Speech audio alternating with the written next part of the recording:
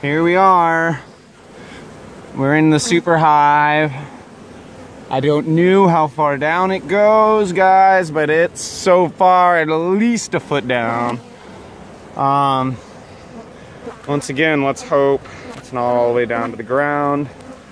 Otherwise, I don't know. We're gonna figure out a way to get all the stone out of the way.